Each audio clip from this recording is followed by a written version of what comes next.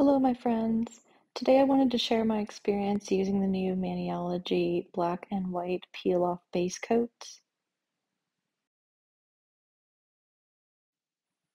I started off with a calcium-rich base coat, and I'm just going to apply the Peely base right on top of that.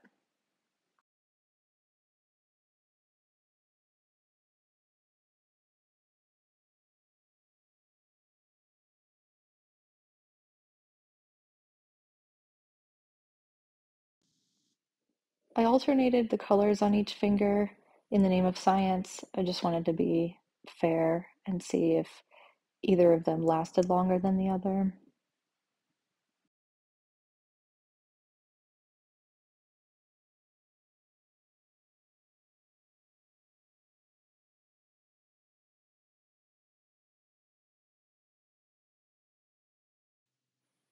The white isn't nearly as opaque as the black, and you can see it's a little bit streaky. So you can definitely get away with doing one coat of the black, but not of the white.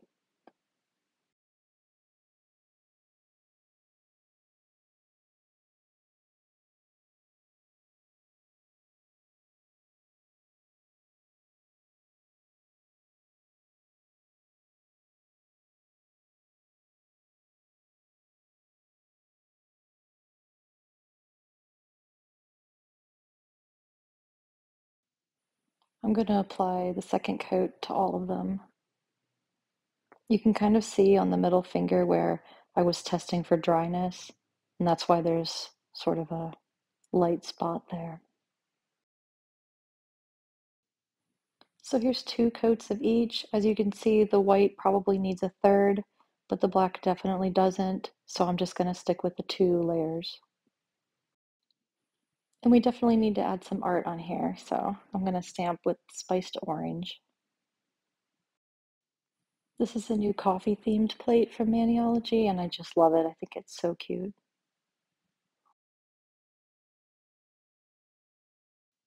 This isn't exactly a review for the Aqua Topper versus the smudge-free top coats. However, I did want to try them out in the name of fairness, so I alternated each finger so the middle have the smudge-free and the outer two have the Aqua Topper. And then I topped all of it with the same Orly gloss top coat. This is the finished manicure. You can see that the stamping covered up the problems with the white and there's no visible difference between the top coats.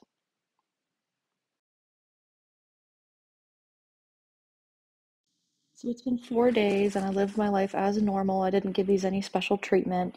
And I just took a really hot shower and I covered my cuticles in cuticle oil. And now I'm going to try to peel off these Peely base.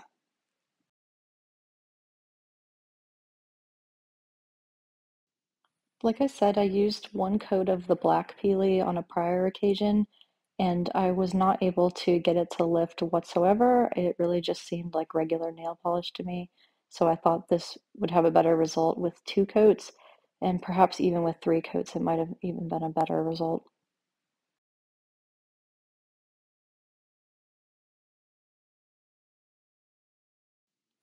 But you can really see how difficult this is, and you can probably tell that it's starting to lift up part of my nail plate and it doesn't feel great.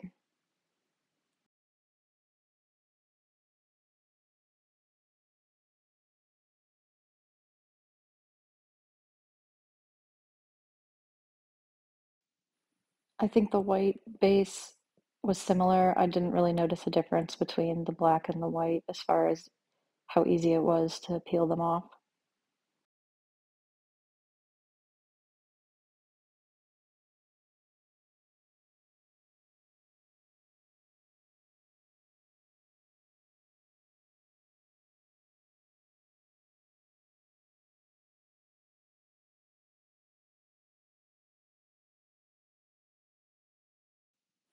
So yeah, these parts at the tips were just like really stuck on there.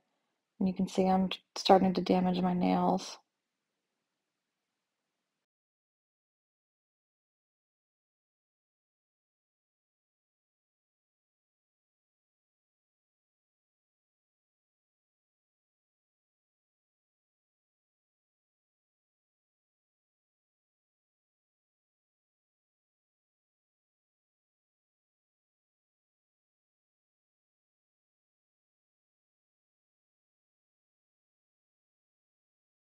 I was trying to see if I could coax any of this to peel off, but I didn't have any luck, so I gave up.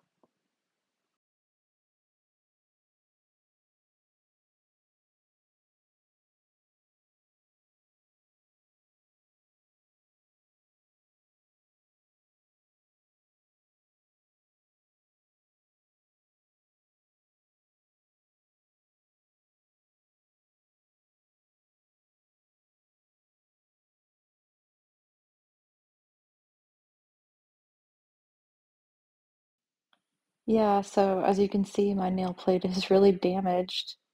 I really don't think these peeled off at all.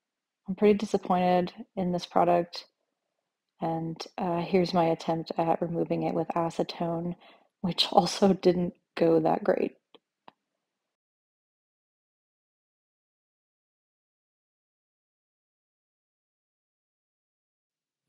So, like I said, this was my first experience using Peelies, except for the first time that I tried out the black. Um, and maybe I did something wrong. Maybe I'm not understanding what it's all about, but I really didn't have a good time with this product. I don't like how it left my nails. You can really just see how I ripped everything off. So I'm not sure what the advantage is of either of these, uh, but that was my experience, and I hope you found it helpful. Thank you so much for watching. I really appreciate it. You can leave any of your questions in the comments section, and don't forget to like and subscribe to my channel for more content like this. Thanks.